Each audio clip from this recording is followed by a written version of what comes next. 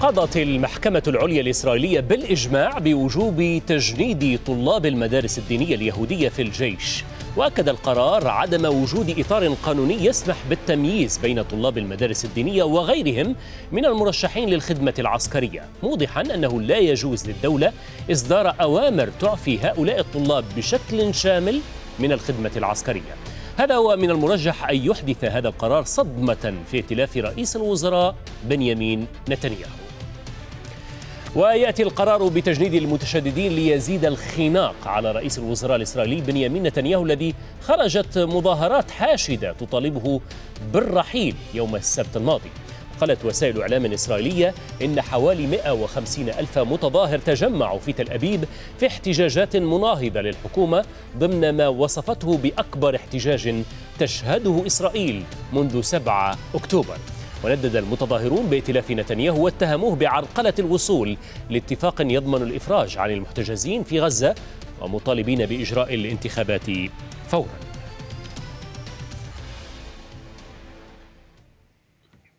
للمزيد معنا من حيفا الباحث في مركز تقدم أمير مخول.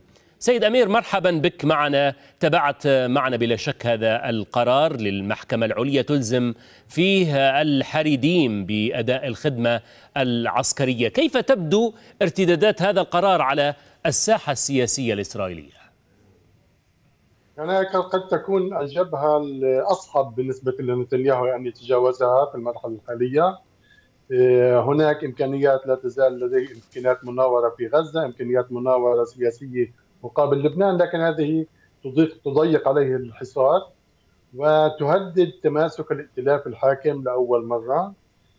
نحن أو يعني التوقعات هو ما سيحسم الأمر. اولا المرجعيات الدينية للأحزاب الدينية انه قادتها السياسيين يعني مترددين في في الخروج من الحكومة ويفضلون البقاء فيها. لكن القيادات الدينية قد تأخذ منحى آخر. في الدفاع عن عن التيار ككل وعن تاريخ هذه التيارات. القائم القائم على عقيدة إنه خدمة التوراه هي أهم من خدمة الجيش أو خدمة الدولة. وبهذا المفهوم قد يؤدي إلى إسقاط الحكومة، طبعا هناك في طيب. إضافات يعني جوانب إضافية لهذا القسم نعم. هل سيبدأ هذا التجنيد فورا برأيك سيد مخول أم أن القانون سيبقى حبرا على ورق لأن المعارضة تخوفت من احتمالية حصول ذلك؟ يعني كان لافت بشكل خاص إن المستشاره القانونية للحكومة طالبت على الفور بعد صدور قرار المحكمة العليا بأن تقوم الدولة فورا بتجنيد 3000 من الشباب الحربيين في جن في سن الجندية. وهذا عمليا آه، ومنع تمويل للمدارس الدينية آه، التي يدرس فيها هؤلاء. آه، وأيضا في اتخاذ عمليا إجراءات تضمن تجنيد إضافي. وهناك في نفس اليوم اليوم كان في إعلان أو يعني تمرير اقتراح قانون أولي بإطالة أمد الخدمة الاحتياط بسنة إضافية يعني من جيل 40 الإعفاء حاليا يتم يصبح بجيل 41 أي إضافة عبء آخر على جنود الاحتياط الذين يخدمون.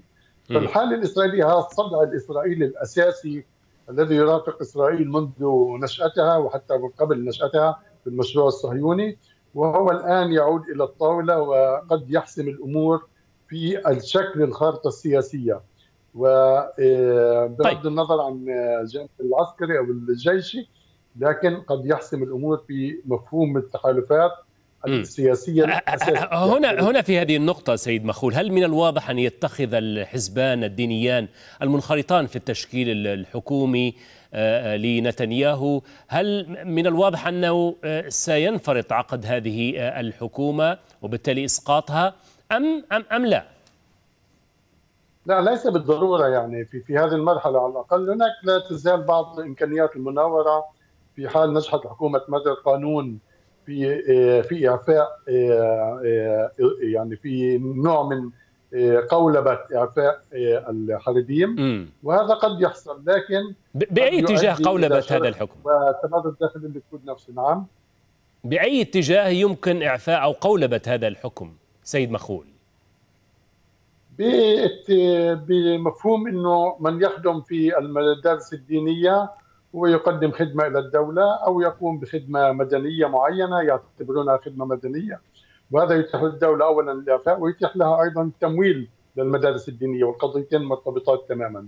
لكن أعتقد من الصعب جدا لأن ستكون هناك عدة احتجاجات اولا في الشارع وستكون احتجاجات قانونية أو التماسات قانونية ويبدو إنه من الصعب جدا تمرير مثل هذا القانون لأنه لا يوجد عليه إجماع بتاتا حتى بداخل حزب الليكود الحاكم.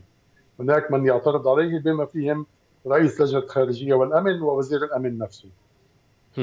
سنستمر في هذا النقاش ولكن سنورد هذا التصريح للوزير السابق في مجلس الحرب الإسرائيلي بني جانس الذي عبر عن تأييده ودعمه لقرار المحكمة العليا الإسرائيلية بشأن تجنيد طلاب المدارس الدينية في الجيش. جانس طالب الرافضين من اليمين المتشدد في إسرائيل لقرار المحكمة بضرورة إعادة النظر في ذلك مجددا الدعوة لانتخابات مبكرة.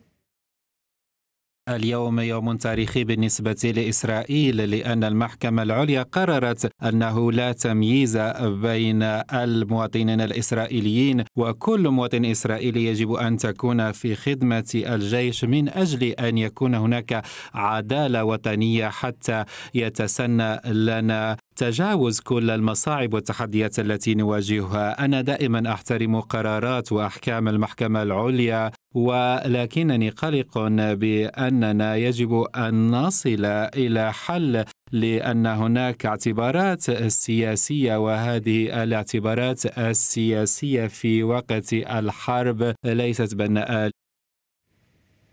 سيد مخول استمعنا لغانس وربما لأطراف عديدة في المعارضة تدلو بدلوها تجاه هذا القانون كيف يمكن أن تستفيد أحزاب المعارضة من غضب الحريدين برأيك؟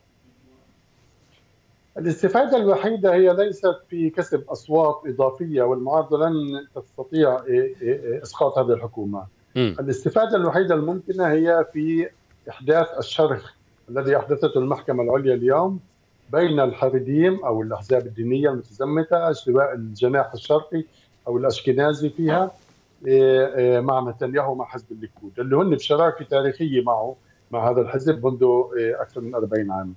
الآن المعارضة أعتقد سوف تقوم بتنافر أكثر مع جمهور الحريديم لانها تطلب تجنيدهم، يعني جانس يمثل الجناح العلماني الأكثر نزعة عسكرية وهذا آه، ويراه به المتدينون إشكالية يعني خاصه آه، المعنيين في ربط الخدمة العسكرية بعكس نتنياهو الذي يناور في هذه القضية وهو مقبول يعني على آه، يعني هو يوفر بيئه أسهل لهذا التيار. لكن أعتقد المشكلة هي أنه النار بدأت تلتهم الائتلاف الحاكم من داخله وهذه ما يخشاه نتنياهو وقد يذهب إلى يعني يفرض عليه هذا الواقع الذهاب إلى تحديد موعد انتخابات مبكرة إيه، سواء كان سيسقط أم لا يسقط هذا تحدده نتائج الانتخابات وليس بالضرورة أن تسقط حكومته بعد الانتخابات أو أن ينزل عن الحكم سريعا. هل تعتقد بأن نتنياهو قد يتجه لهذا القرار وهو يستميت بشتى الطرق حتى ولو على حساب أمن إسرائيل باستمرارية الحرب، هل هل تعتقد بأن نتنياهو س يعني يرمي المنشفة في نهاية المطاف؟ لا هو لا يرميها بهذا المفهوم. هو يضمن عمليا نتنياهو يهتم أن تكون لديه كتله من 52 أو 53 عضو كنيست حتى يمنع أي ائتلاف آخر يتشكل لأنه أي ائتلاف آخر سوف يتشكل سيكون بحاجة كي يكسب أكثر من 60 عضوا إلى الأحزاب العربية. وهذا أصبح في العرف السياسي الإسرائيلي بكل تياراته غير شرعي وغير مقبول خاصه بعد أكتوبر هذا الشيء غير ممكن اليوم واعلن جانس إنه لن يكون أو لبيد إنه لن يعتمد بالمرة على أي الأحزاب العربية لذلك أعتقد نتنياهو يستطيع أن يبقى في هذه الحالة لفترة طويلة كحكومة تصريف أعمال حتى لو لم يكن لديه الأغلبية اللي في تركيب ائتلاف حاكم جديد. شكرا جزيلا لك أستاذ أمير مخول الباحث في مركز تقدم كنت معنا من حيفا شكرا لك.